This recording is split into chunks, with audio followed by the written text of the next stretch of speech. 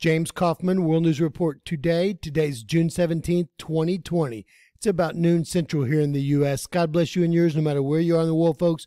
Please subscribe, give us a thumbs up, and ring that bell for critical future updates. Folks, today's video will be the most important video you see in your entire life. We're going to cover the coming annular solar eclipse that happens on the solstice this year in 2020. That's going to be June 21st, the same day we decided that the Mayan calendar may predict the end or change of the world. Folks, we're also having 14 days later a lunar eclipse. What's strange about the lunar eclipse is this happens on the day of the full moon, July 5th, 2020. Folks, this is going to be completely mind blowing. We're going to go into a Simpsons episode, and I Pet Goat 2, and we're going to show how both of these predicted exactly what's going to happen over the next three to four weeks and what this all means to everyone in the world. A production co- uh, company called Hellephant produced I Pet Goat 2 in 2009. And this movie is known as one of the most predictive features in all of history. Please notice that the O in Hellephant is actually an annular solar eclipse. And folks, you're going to wonder what this dot is here to the top left of that annular solar eclipse.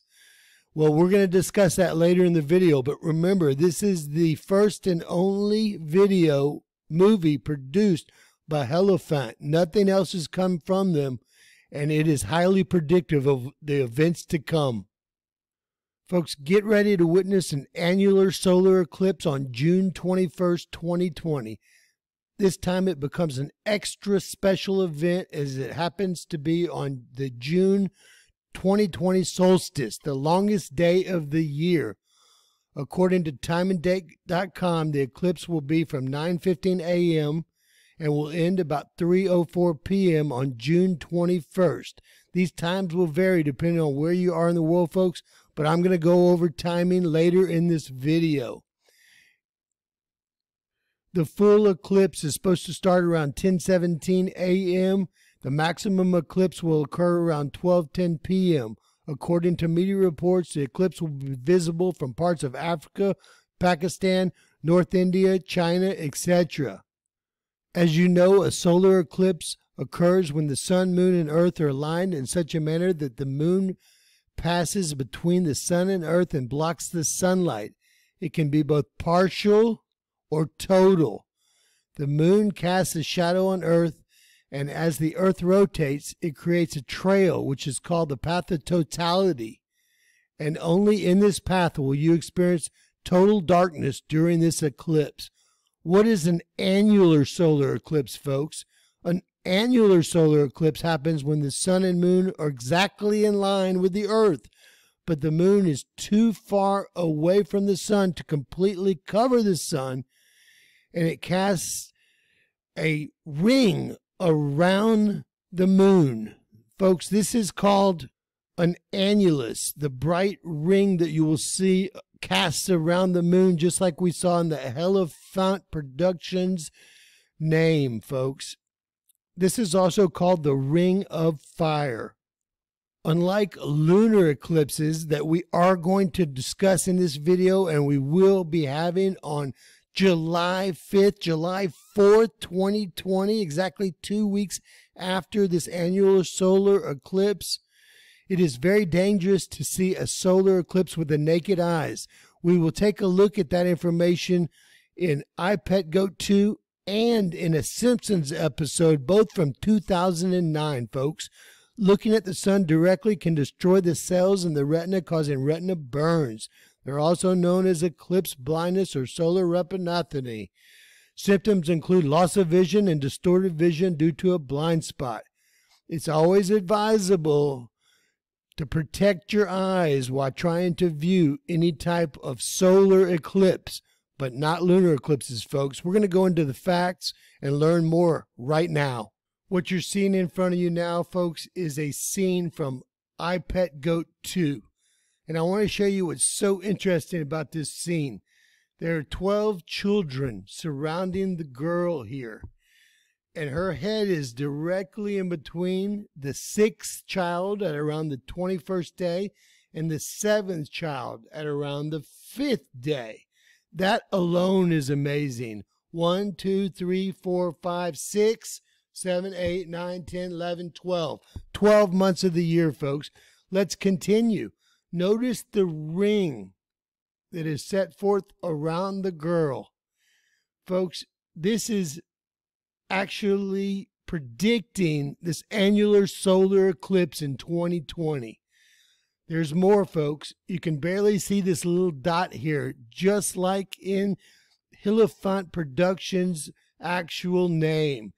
What is this dot? Folks, I believe that this could be our second sun, as 90% of all solar systems are dual solar or dual sun solar systems. This also could be a planet that's viewable during this annular solar eclipse. But we're going to go into much more information about this as we go here, folks. Please stay with us. If I do make mistakes, I've been setting this up for days. We're going to continue because time is short, okay? Exactly 14 days from that annular solar eclipse that happens on the solstice, we'll have a lunar eclipse, folks. This happens to occur on the full moon, which we will soon prove to you. You can see that that lunar eclipse actually covers all of North America and most of South America and is visible from many spots around the globe. Again, occurring 14 days. Remember that number because we're going to look at a Simpsons episode where that will be important. This will actually occur on July 5th, but in the United States, it will be visible at around 1139 July 4th in the evening of our Independence Day, folks. Here you can see a calendar of the actual months and moons in 2020. If we move to July and move down to the 5th, you'll see that the 100% full moon occurs on the 5th, the same day as this lunar eclipse. This is very significant. We have a annular solar eclipse on the solstice followed directly by a lunar eclipse on the full moon 2 weeks later. Keep all this in mind, folks. Before going into this predictive Simpsons episode, I'd like to discuss the biblical terms of this annular solar eclipse which really biblically means that God is angry. It shows God's anger for humans and what they're doing on earth. What does a lunar eclipse mean, folks? Biblically, it is supposed to mean that people on earth are grounded or realize exactly what's going on. So, folks, let's continue and take a look at this 2009 Simpsons episode. Please notice that both I Pet Goat 2 and this Simpsons episode were both made in 2009, and both of them actually feature this exact annular solar eclipse. A bit of a spoiler as we go on, folks. This is Marge Simpson after she looked at a solar eclipse, and she's actually blind for exactly two weeks. This is the two weeks in between the solar eclipse, and the rise of the Antichrist, folks. Folks, we're going to go into Gone Maggie Gone, an episode of The Simpsons that was actually aired first in March 15, 2009.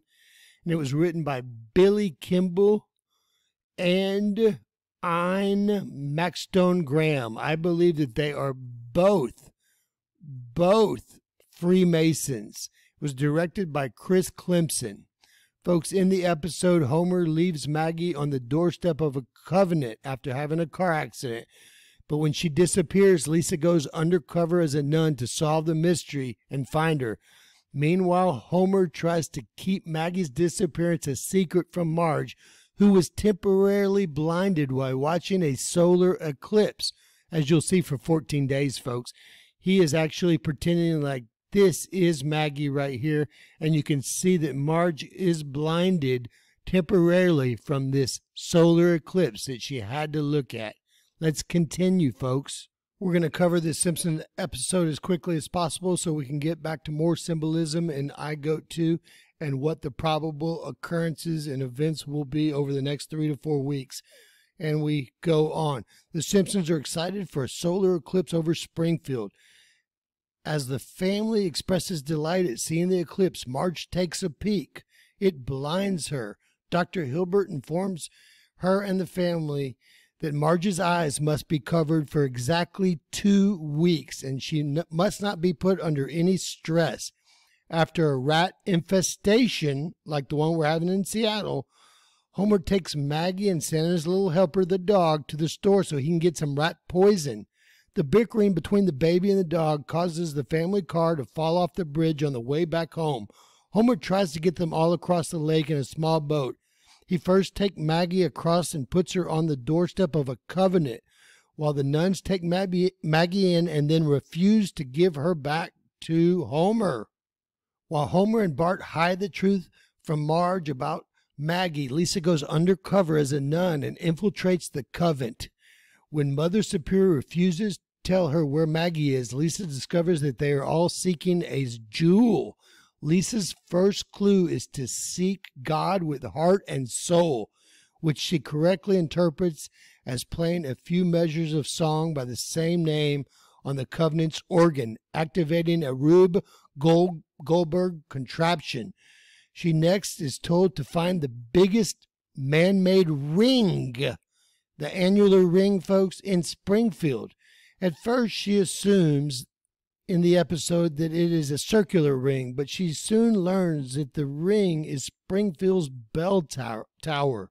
Arriving there, she meets comic book guy and Principal Skinner, who tell her that St. Teresa Avila had a deathbed vision of a jewel that would bring peace and harmony to the world, folks. Comic Book Guy tells her that a gem will reveal on the first full moon after a solar eclipse, which is that night. However, the bell is actually paper mache. So Lisa and Comic Book Guy conclude that the biggest ring in Spring, Springfield is really the ring in the Springfield sign, folks, which is really the ring on the annular eclipse. June 21st, 2020. At the Springfield sign, they're met with by Mr. Burns and Smithers. They're also looking for the gem. Lisa finds writing on the Springfield sign, unscrambles it wrongly, comes up with it thinking that she is the gem.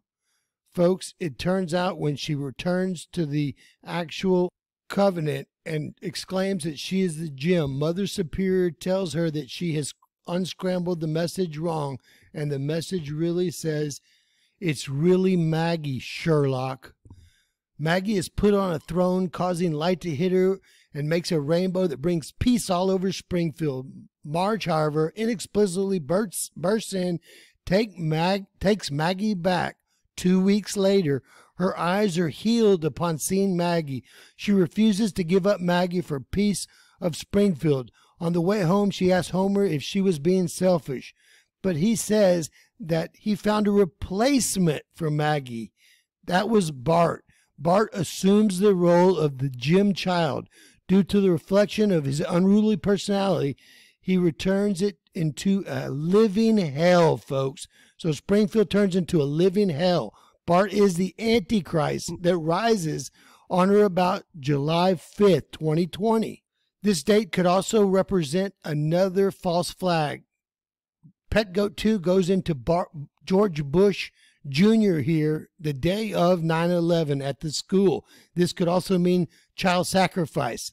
Obama is the Antichrist, as will be revealed right now. I Pet Goat 2 shows Obama at the same school, but not with a dunce hat on. He's laughing. Notice the floor, the Masonic checkerboard, folks.